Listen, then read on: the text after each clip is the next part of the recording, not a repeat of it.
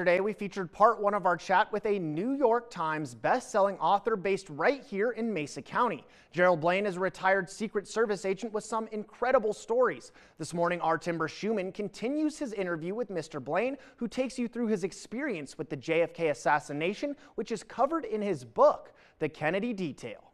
Our intent was to give the readers an idea of what President Kennedy was like and what were the events leading up to the assassination and uh, tearing down the theories that people were introducing. One theory, the magic bullet. Oftentimes, the number of shots fired and from where varies depending on who you ask. Jerry tells me three shots were fired, all from Oswald on the sixth floor of the book depository, which would rule out another theory, the grassy knoll. He says three workers on the fifth floor heard it all through the ceiling. And when Oswald fired the first shot, they heard the shot, fell stuff fall on their head, and then dropped to the floor. And then they heard the casing hit the floor.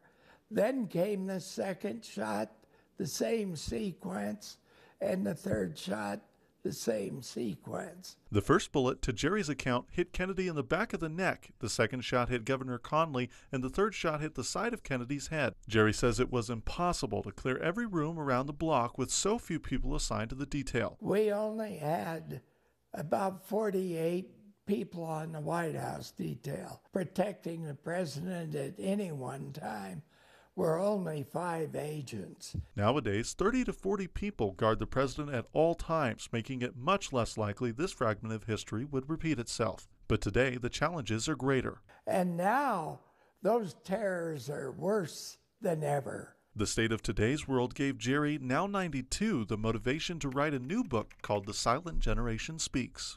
It includes the corruption of uh, some of our politicians and to look at our country as a constitutional republic. Just the latest chapter in an adventure filled life well lived. For KREX Channel 5, I'm Timber Schumann.